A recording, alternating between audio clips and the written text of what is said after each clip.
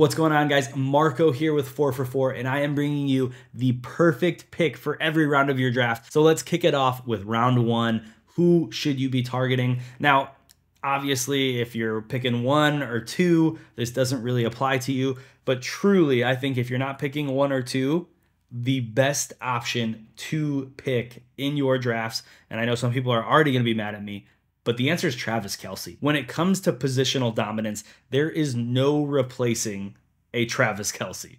Kelce averaged 1.3 more targets per game than the next best tight end, but he turned those 1.3 targets into six more points per game than TJ Hockenson.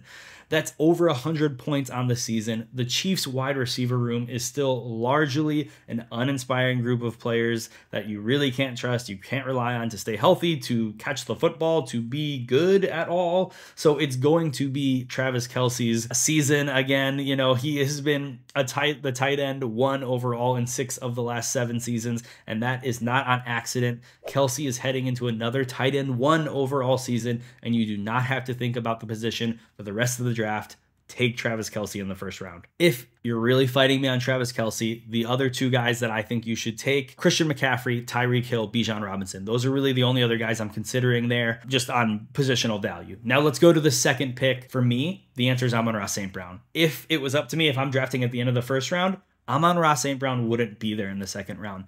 But if you look at ESPN ADP, he is commonly there in the second round. The sun god, Amon-Ra St. Brown, is the safest pick at the wide receiver position that is not named Justin Jefferson or Ja'Marr Chase. That's just the reality of it.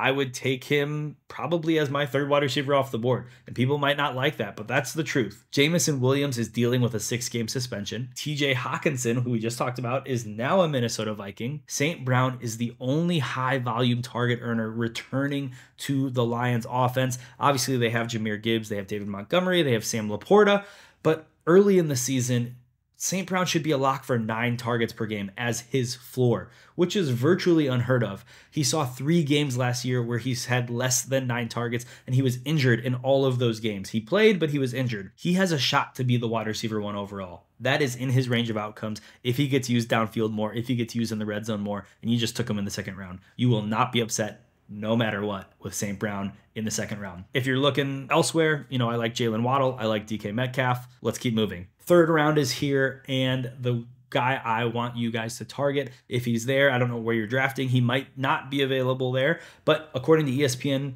ADP, he should be, and that is wide receiver for the New Orleans Saints, Chris Olave. Now, he showed us that he is here to stay last season. He averaged 2.42 yards per route run. He averaged over a 27% target rate as a rookie, which is just unheard of. I mean, there's been less than 22 wide receivers in the NFL to do that. Now he gets the upgrade of Andy Dal- from Andy Dalton to Derek Carr, and Olave is heading toward a huge breakout season. And adding a player like Olave in uh, to your team in the third round just doesn't seem fair, especially in PPR league where there is absolutely nothing better than these phenom- uh, phenomenal elite pass catchers. Some alternatives if you can't get Chris Olave, I like Devonta Smith quite a bit, and I like Travis Etienne quite a bit. Those are two guys that I would totally target in the third round if Chris Olave isn't there. My fourth round pick is Jahmyr Gibbs. Now, some of you might be saying, there's no way he's going to make it to the fourth round. There's no way he's going to make it to the fourth round. I'm using ESPN ADP for this. He is commonly available in the late third, early fourth round. So I'm going to put him in the fourth round because we're talking about the best player at every round. And he has been in the fourth round, uh, at least on ESPN. And so when it comes to first round draft picks at the running back position, they are historically players that you want to draft for fantasy football. That's just what history of the NFL draft and fantasy production has told us. In 2023, we were gifted with Bijan Robinson and Jahmyr Gibbs in the first round, which is awesome. Both should be RB1s this year, but only Gibbs has the ability to actually be a true league winner for you because Bijan's going in the first round. I talked about him, you know, in, in the first round sec part of this video. Bijan Robinson can't really be a league winner. He's being drafted at his ceiling. Jahmyr Gibbs is going two to three rounds later. He's going in that third, fourth round area. He can actually be a league winner at the running back position. Now, I don't always go early quarterback, but we've seen, oh, you know, last season showed us there's a huge break in these quarterbacks when you leave that elite tier. And you might be thinking, Justin Fields isn't in that elite tier, but the answer is yes, he is in that elite tier. He was already QB6 in points per game last season. If he even has a marginal improvement in his play, QB6 is probably his floor. This team improved their offensive line. They added DJ Moore. They have now a healthy Chase Claypool, a healthy Darnell Mooney, a hopefully healthy healthy Cole Kmet. Justin Fields is going to ball out in 2023. He's an elite rushing quarterback that he showed us last year, one of the best historically to ever do it. But he was actually drafted on his merit as a passer in college. He is going to put the league on notice in 2023, and you're acqui- acquiring him most likely at his floor in the fourth round of your draft. Now, some options here for Justin Fields if he's gone, if you're not all in on Justin Fields, go for the other Justin, Justin Herbert. Or if you really don't want to go quarterback, I really like Amari Cooper in the fifth round. He's a wide receiver value that's being slept on. He was a top 12 wide receiver last year, and he's likely to be in that top 20, top 15 this year uh, with Deshaun in year two for the Browns. I am saying you need to be drafting running back for the Buffalo Bills, James Cook. Now, the best way to win at the running back position, the best way is to focus on high powered offenses and running backs with versatility. That's James Cook. in 2022, Cook was third in yards per touch and he was first in breakaway run rate. The concerns about Damien Harris joining the team are real. Damien Harris is going to vulture touchdowns. He's going to be in on early downs more than we'd like, probably. It's going to be a little bit annoying at times. But if we look at what James Cook has done in the preseason so far, he has dominated the snaps with the starters, over 70% of the snaps with the starters. And if we look at his week two usage in the preseason, he saw over 70% of the rush attempts while also having 70% route participation. That is exactly what you want to see from a running back, a young running back, and a potential breakout candidate running back. He is one of my favorite values at the entire running back position, and adding him nearly 70, you know, 65, 75 picks into the draft feels really unfair to the rest of your league. He is a league winner. I'm going to plant my flag on that. If you're not into James Cook there, I that's fine. I understand there's concerns. You can go for a guy like Alexander Mattison, who should probably dominate most of the touches for the Vikings. Maybe some less up, less upside in that offense, but he's a running back option. And if you want to go wide receiver, I really like Terry McLaurin at that point if he is healthy. Obviously, he's dealing with some injury right now. We got to see what the timeline is going to be on that. But if he's healthy, I'm fine picking him here. If he's not, you can probably get him a couple rounds later. All right, we are now in round seven, and I am going with wide receiver for the Pittsburgh Steelers, George Pickens. He's one of my breakout wide receivers this year. Really, he's been one of the most polarizing players in all of fantasy football. He posted over 800 yards and four touchdowns as a rookie, and he did it with a rookie quarterback. He looks like he's primed for a huge year two in Pittsburgh. And I'm a Diontae Johnson believer. I'll say that right now. I don't think you don't you need to pick a side here. I think they're both going to be good because the reality is Kenny Pickett has actually looked much better in this preseason than I ever expected to. I'm a Kenny Pickett doubter, and he has started to pique my interest of maybe he could be a legit NFL quarterback, and I think he could potentially support both of these guys. And you get to add Pickens right now in the seventh round, which means he's probably going to be like a flex for you, maybe even a bench person, a bench player, depending on you know how deep your rosters are. In the seventh round, I am 100% happy with taking George Pickens. All right, we are almost there. We're going to round eight, and I am taking one of my favorite running backs. You might think the ADP's off, but this is ESPN ADP. We're staying consistent with ESPN ADP. J.K. Dobbins is available in ESPN leagues in round eight. This is obviously full PPR leagues, but early in his career, J.K. Dobbins has dealt with injury. Primarily, he's been stuck recovering from this torn ACL over the last year and a half or so, or, you know, just over a year. But last season, even it being just year one after that ACL, he led all running backs in fantasy points over expected per game. He averaged five and a half yards per carry, and he was one of the most efficient runners in the NFL. Now he's another year removed from that ACL injury. He's got Todd Monken, his new OC. I've talked about him in a number of videos, now calling the plays for the Baltimore Ravens. And when we look at what Monken has done for running backs as well as just a complete offense, he's given running backs at, you know, his his workhorse running backs are likely to see 15 plus opportunities a game that's a uh, a point in Dobbins' favor because volume's definitely a question for him.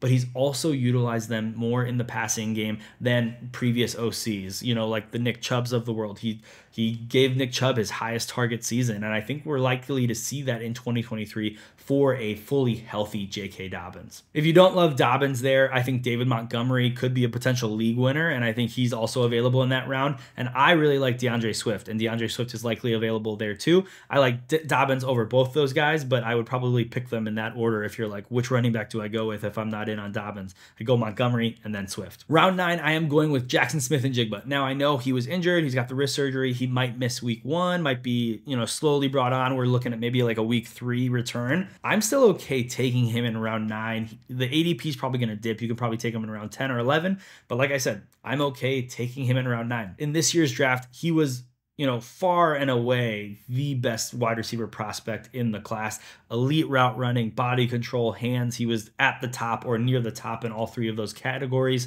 And of course, he's joining a crowded wide receiver room with DK Metcalf and Tyler Lockett. So target competition is going to be an obstacle, especially early in the season. That being said, this might be, and it's a very talented wide receiver room, it might be the least competitive wide receiver room that Jaxon Smith-Njigba's ever been a part of in college at Ohio State, he competed with Garrett Wilson, Chris Olave, Marvin Harrison Jr., and you know, and plenty of other players, Jameson Williams for a time even. And Garrett Wilson, Chris Olave are two guys who are, you know, top 10 wide receivers projected for 2023. Marvin Harrison Jr., when he comes out next year, will probably immediately jump into that conversation. In dynasty circles, people are clamoring over this guy, and they should be. Even if it's a slow burn for Jaxon Smith-Njigba. The juice is going to be worth the squeeze here. Again, I promise you, you may find that you drafted a late season league winner at the wide receiver position. Once he gets healthy, once he gets on the field, he is going to command targets in this offense. If you're not in on JSN here, that's okay. If his ADP drops and you want to wait a little bit, that's okay. Two guys I like are running backs, not wide receivers, but Khalil Herbert and AJ Dillon are decent values here. I do think Khalil Herbert ends up being the backup, but early season he should definitely lead the way. And then AJ Dillon is going to be AJ Dillon. He's going to be, you know, a low end RB2 with some RB with some high end RB2 weeks in there. Both those guys are kind of in the same vein, uh, and I like both of them at the running back position. Round 10, I am going Jordan Addison. I'm going another rookie wide receiver, and really this is where I start looking at upside, and then after this I only go upside upside. ADP should mainly be out the window once you get to round 10 and below. Just go get your guys. And Jordan Addison is another young player that I am all in on this year. When we look at the marriage of talent and situation, it's really hard to argue drafting anyone but Jordan Addison in your 10th round. Kirk Cousins last season uh, had the most pass attempts of his career. The Vikings were fourth in pass attempts in the NFL, and they lost Adam Thielen. They lost Dalvin Cook. Kevin O'Connell's year two with this offense. Kirk Cousins' year two in this offense. Addison is stepping into an enormous opportunity, an enormous role as the wide receiver two for the Vikings. Even if his combine numbers didn't wow you, he has a chance to lead all rookies in receiving production. I actually have him as my highest rated rookie wide receiver for 2023 after the Jaxon Smith-Njigba injury. If Addison is gone or you don't want to go Addison, I think Jahan Dotson is a great pick here or Treylon Burks. Treylon Burks, again, he might have a little bit lower ADP because he's also dealing with injury, but both guys should be solid at the wide receiver position for 2023 and can bring value once they're healthy. All right, I'm going to rapid fire through a couple late round targets at each position. When I look at quarterback, I like Kirk Cousins. He's my dark horse to lead the NFL in passing yards. Anthony Richardson, the rushing upside is going to float this guy. He's going to be a top 15 QB most likely in 2023. And then dark horse, I like Geno Smith. You know, obviously they added JSN once he's healthy. He's got tons of weapons to work with. They added Zach Charbonnet as well. I think Geno Smith is going to, you know, flirt with that top 15, top 12 even quarterback production in 2023, even if he's unexciting. Running back, guys I've talked about a ton, so I'll just keep it brief. Antonio Gibson, Roschon Johnson, Zach Charbonnet, Tyler Allgeier, Tank Bigsby. Love all those guys. Wide receiver, we got Zay Flowers, Quentin Johnston, Elijah Moore, Jameson Williams. When he comes back, he's going to command targets like most likely. I'm not all in on the talent and just if the Lions are really in on him either, but he's going to get on the field hopefully as soon as, you know, week seven, eight. And I think that's going to be a huge bump in his value. And then Jayden Reed, I think he's going to be the next Amon-Ra St. Brown. He's a huge value at the very, very end of your drafts at wide receiver. He's a guy I'm not leaving a draft without. Tight end, you got Dalton Kincaid, you got Cole Kmet, You got Sam LaPorta, you got Juwan Johnson. All those guys I think are going to have some tight end one weeks. And Dalton Kincaid and Cole Kmet, um, I have actually as tight end ones in, in 2023. Let me know your thoughts. Let me know if there's a guy you missed. If you've got players you want to draft and reach on, drop your questions below. I'll, I'll answer every single question that we get. Don't forget to head over to 4for4, use the promo code YouTube, save some money, get access to premium content, customized content, and don't forget to be kind, do good. Thank you guys so much for hanging out. We'll see you next time. Peace.